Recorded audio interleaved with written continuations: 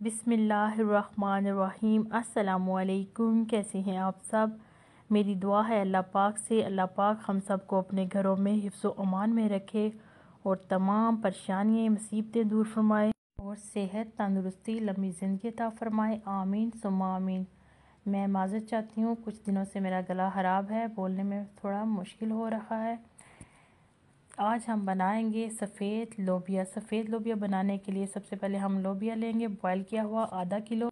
सुरख मिर्च, एक खाने का चम्मच, देगी मिर्च, आधा चाय का चम्मच, हल्दी, आधा चाय का चम्मच, काली मिर्च, आधा चाय का चम्मच, गरम मसाला साबुत, एक खाने का चम्मच, कुटी लाल मिर्च, आधा चाय का चम्मच, नमक, हसबे ज़ायका, सब्ज़ मिर्च चाहिए और अदरक चाहिए हमें। तेज़ पत्ता फ्रेश लिया है मैंने। चलिए शुरू करते हैं। सबसे पहले कढ़ाई में आधा कप आयल शामिल करेंगे। अब इसमें प्याज, दरमियाने साइज़ की एक अदद, लहसुन और अदरक का पेस्ट एक खाने का चम्मच, प्याज हमने लाइट गोल्डन कर ली है। टमाटर एक अदद बरी कटा हुआ शामिल किया। थोड़ा सा पानी शामिल करेंगे। अब इसमें नमक हंसपे जायका शामिल करेंगे। सुरख मिर्च, एक खाने का चम्मच, देगी मिर्च, आधा चाय का चम्मच,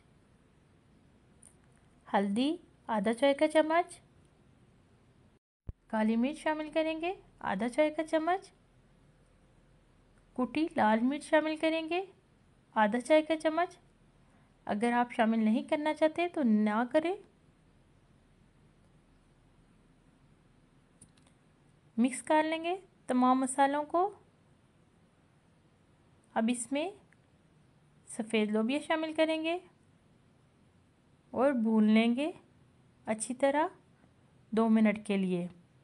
अब इसमें पानी शामिल करेंगे। एक कप पाँच मिनट के लिए दरमियानी आँच पे पका लेंगे। अब इसमें कटा हुआ धनिया बारीक शामिल करेंगे। सब्ज़ मिर्च बारीक कटी हुई शामिल करेंगे और अदरक शामिल कर देंगे। तड़के के लिए आयल लेंगे। आयल में हम साबुत गरम मसाला और सब्ज़ मिर्च शामिल कर लेंगे। इस तरह तड़का लगा लेंगे। सफ़ेद लोबिया तैयार है। बहुत ही आसान है। उम्मीद है कि आपको मेरी ये रेसिपी पसंद आई होगी।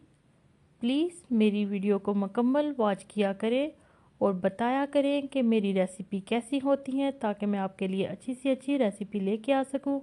और अगर आपकी कोई फरमाइश हो कौन सी मुझे रेसिपी बनानी चाहिए तो बताएँ, मैं आपकी वो फरमाइश पूरी करूँगी। और दुआओं में याद रखिएगा, इजाज़त चाहती हूँ। अल्लाह हाफिज़।